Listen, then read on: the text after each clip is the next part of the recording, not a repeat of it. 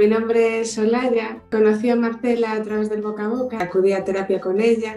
Estaba buscando una transformación, estaba buscando como una ruta, alguien que me, que me guiase y acudí a consulta. Una frase que me quedó muy grabada que me dijo ella, tú tienes que ser las velas, no seas el viento, o sea que tengo que yo coger las riendas de mi propia vida y, guiar las velas. Empecé a acudir a sus cursos.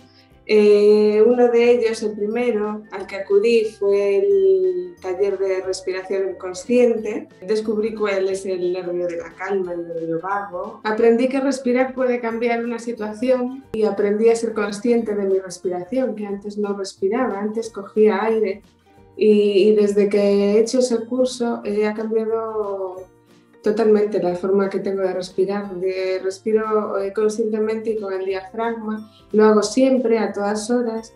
Eh, y cuando hay una situación que se desboca un poco, eh, me paro y, y, respiro. Otro curso que he hecho fue el de mindfulness, ser consciente, vivir el momento la verdad es que te cambia el presente eh, hacerlo. Y ahora que tengo hijos, mucho más. No hace falta eh, estar mal para acudir a terapia o para acudir a algún curso que te ayude a ser mejor persona, a ser la mejor versión de ti mismo.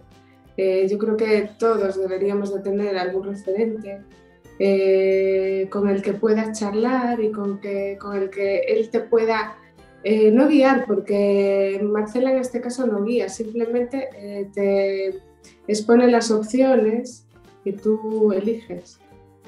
Eh, ahora me siento con mucha más calma. he aprendido a decir que no sin sentirme culpable.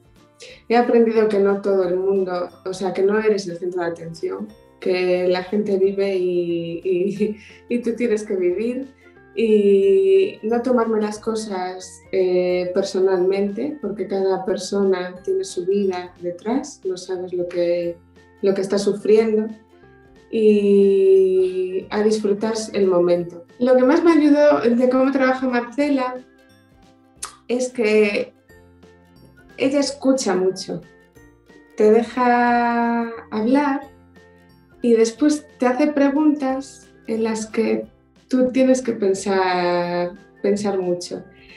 Eh, te ayuda a, buscar eh, ese yo interior que está muy escondido a veces y que no sabes cómo sacar.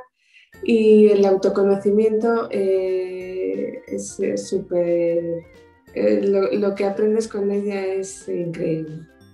Yo solo quiero agradecer a Marcela que, que haya aparecido en mi vida y cuando mi cabeza hizo un parón y apareció ella, la vida como que me dio una oportunidad para crecer y para crecer interiormente.